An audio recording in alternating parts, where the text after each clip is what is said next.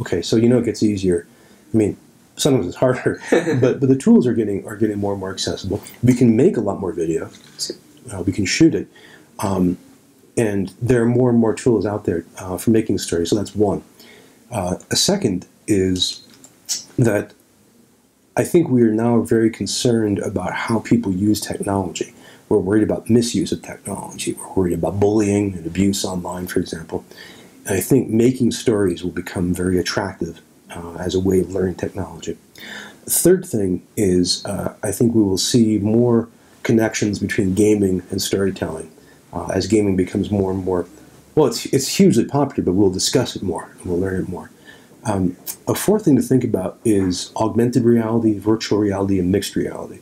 So, um, you know, to have a story that takes place in a room, there's a, a, a Microsoft game for the uh, HoloLens where you sit down and you put the goggles on, right? And one of the characters sits next to you and talks to you.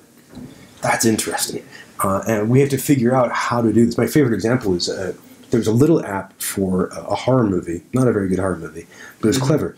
They had, you would sit down, like you and I actually, you'd be sitting down, and in front of you would be a person, an old woman, telling you a story. Okay, that's good. But you could hear things, and you keep hearing things moving behind you. And you keep turning around. And, Excuse me, you want to get, and like, is something happening? Yeah. yeah, yeah so maybe we're discovering how to tell stories with that. And I find that very, very exciting. Um, and I think we will look back over the past 10 years and say that we lived through a creative renaissance, and we will appreciate that.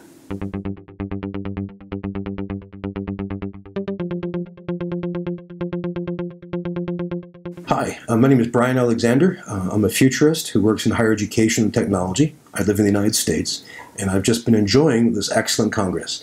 Uh, there are a few things about it that I do recommend. One is that uh, the content is very rich and very engaging, ranging from practical workshops to some really inspiring keynote speakers.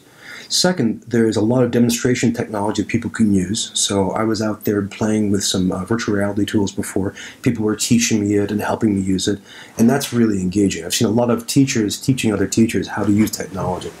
Uh, third is that the the mood is very positive. That people here are very uh, engaged, they're very optimistic, and they're thinking hard about what to do next. So that's, I find, very satisfying. Um, and uh, fourth, the food is really good.